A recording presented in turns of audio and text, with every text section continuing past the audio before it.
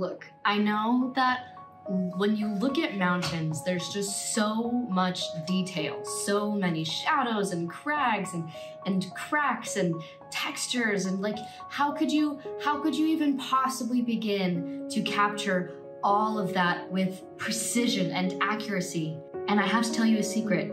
You don't have to.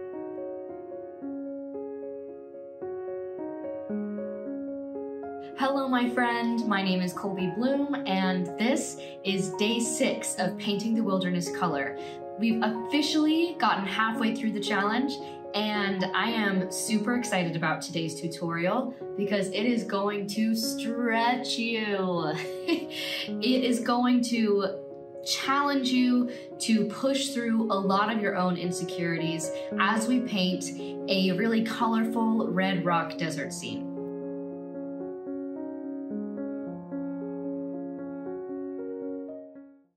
Okay, here we go. Rainbow Desert. So here's the thing, and I already talked about this in the intro, but uh, when you paint mountains, you're gonna get all scared. You're gonna get all like, oh, but I can't possibly. And especially as soon as you start painting, you're gonna be like, this is just, this is not working. And before we even get to that point, I'm telling you, it's gonna be fine. We're gonna be fine. Even if you decide you want to start over, it's going to be fine. But if you don't, it's still going to be fine. And I'm going to talk more about that. So, the first thing we're going to start with is this sketch. So, we're sketching the mountain. And basically, what I'm doing is I'm making just a bunch of like, you know, curves, just a bunch of random curves, and some curves going into the mountain because we're kind of painting some overlapping rocks. There might be some cracks in this red rock mountain. Okay. And then that little line across the bottom is where the desert foliage is going to go. Where the lines are does not really matter uh, because you, like, basically you get to decide, but we're just kind of putting in some cracks, some giving us a guideline for where we might want to paint some more dark, shadowy spots. All right. So, another thing that's important to note is that there are two sections of this rock. The top third of that rock is going to be a lot like a darker orange, and then the bottom two thirds of that rock is going to be a lot lighter. Just remember that. Because we're not painting the mountain yet, we're painting the sky. But uh, I just want you to remember the bottom two thirds of the mountain light, the top two, the top third of the mountain is going to be a little more, a little darker, a little more colorful. So after the sketch, the next thing is we're going to get the sky wet, but only the sky, right? So we're using the edge of the mountain as like a boundary. So the mountain itself is going to stay wet. That's because we don't want blue anywhere near our mountain. So I'm going to use phthalo turquoise here. If you find that whatever turquoise you're using is a little bit too green, um, you can add a little blue to it, but honestly, it's okay. A blue green is actually the color that we want here. Um, so I'm using phthalo turquoise at the top because my sky is already wet, right? So I'm starting at the top with really pigmented water, and then I'm slowly going back and forth across the sky in even horizontal strokes to bring the color all the way down. And then as soon as we get to like, you know, like halfway through that sky, I'm rinsing off my brush and I am bringing the color down just with water and sometimes even rinsing off my brush and starting from the bottom and painting upward. That is so we can create this gradient, right? Um, so the way to create a gradient, once again, you start pigmented at the top, you slowly go down, you wash off your brush so you're only using water to bring down this really light pigment, and then sometimes blending from the bottom up with a clean brush to uh, keep blending together. And I did like three or four layers of that. So then we're starting on this rock right? And I'm just using Scarlet Lake, maybe a little bit of gold ochre um, to get this really, really light value like tan color. So it's Scarlet Lake, some gold ochre, and tons of water, like so much water. So I'm just barely tinting, really, just barely tinting this mountain, this kind of tan orangey color, right? And see, as soon as it dries, as soon as I use my dryer, it's almost like the color's gone away. And that's okay. Remember, we want the bottom of that mountain, and I'm not painting the whole thing, right? I'm leaving the bottom part um, where the foliage is going to be a little bit clear of paint. We want the bottom two thirds of that mountain to be really light and the top third to be darker. So I painted the, the that first layer let it dry, and then I got the mountain wet again, and I'm using Scarlet Lake here, like I'm like still pretty watery Scarlet Lake to paint another layer while it's wet of uh, you know tinting that top third of the mountain uh, that orange color. Then I let it dry. So we're two layers in. This is layer three. Layer three, I'm starting to do dry brush texture, okay? So this is Scarlet Lake. I'm using my size two, my uh, round number two paintbrush. And you see how I'm just barely scraping my paintbrush against the paper and it looks like some really choppy texture is coming through. So uh, this is dry brush texture. If you find that you're not getting the choppy texture, it's because you have too much water. And so I'm like getting rid of some of the excess paint on my tape or on my palette um, before I start painting on the paper. And I'm just doing kind of like horizontal strokes. I'm gonna do the same thing with a really light value gold ochre. So this is gold ochre across some of the bottom part of the rock and also on the top. So we're building we're we're building slow layers of mountain here. There's more gold ochre with slightly more pigmented. Um, and then I'm gonna use this is this is um, Schmincke Super Granulating Urban Red. So it's kind of like a brownish red color that's granulating. And I'm gonna use a little bit of that color to add some texture here. And then along some of the cracks, I'm gonna like just paint along where I've created these guidelines for these cracks, right? And it doesn't matter where they are. You don't you don't have to put them where mine are. You just were trying to, we added some kind of curves that kind of went down or across as guidelines for little cracks. And I'm gonna put some dry brush texture on top of those guidelines. I'm not doing very, very dark right now. So it's, so I'm using this red, um, this urban red super granulating color. If you don't have that color, it's okay. You can use Scarlet Lake mixed with a little bit of indigo or scarlet lake mixed with a little brown, like, or just a brown color. That's really what we're going for. And then I'm adding some dry brush texture. So really the grand scheme of this is what I'm doing is starting really light and then slowly building up darker colors, right? And along those cracks, sometimes I put dry brush texture and then I washed off my brush and I kind of buffed it out so that it blended into the mountain a little bit better. Now, when you're putting on dry brush texture, it's not going to blend all the way because it's not wet on wet, right? It's going to blend a little bit, and that's all that we need. We don't need it to blend perfectly. So then I took a little bit, just a tiny bit of indigo and added it to um, that urban red color, and I made my cracks just a little bit darker. Here's the thing Here's where I want to warn you when you're putting this color on, like when you're darkening up your cracks. If you make them too dark from the outset, they're going to look kind of strange. They're going to look kind of wonky. And they do a little bit now. Like we're going to add more more detail to it, but just go lighter than you think you're going to need to right away. So I've darkened up the cracks and now I'm just adding texture to this mountain. Uh, um, this is still dry brush. This is going to be dry brush for basically from here on out. I'm adding texture with like some horizontal lines all the way across.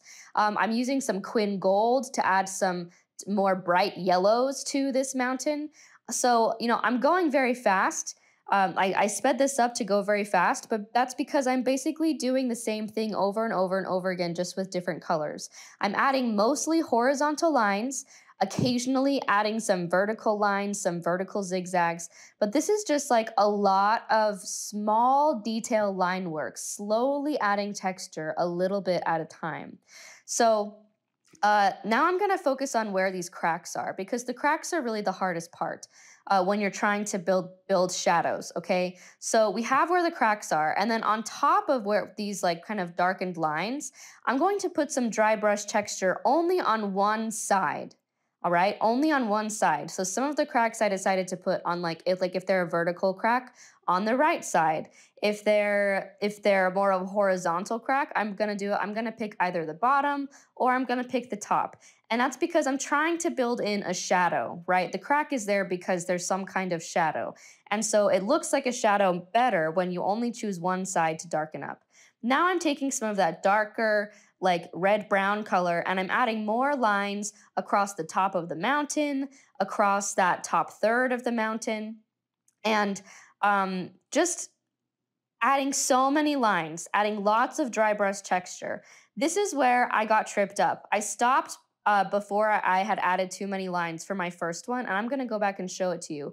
And I thought I was doing it wrong. I thought that I had it wrong, and it just wasn't looking right because I wasn't painting enough. I, I because I didn't know what I was doing. But actually, what was happening is I hadn't, I just hadn't drawn enough details yet. So keep adding lines. When in doubt, keep adding really thin lines. Keep adding dry brush texture. Those cracks continue to look weird, and so I added more dry brush texture on top of them, slightly darker to make it to make the shadows really pop, um, but not too much. You know, if you're adding really dark paint, a little bit can go a long way, especially for these shadows. I almost think that I made them a little too dark, but I think that it still looks okay.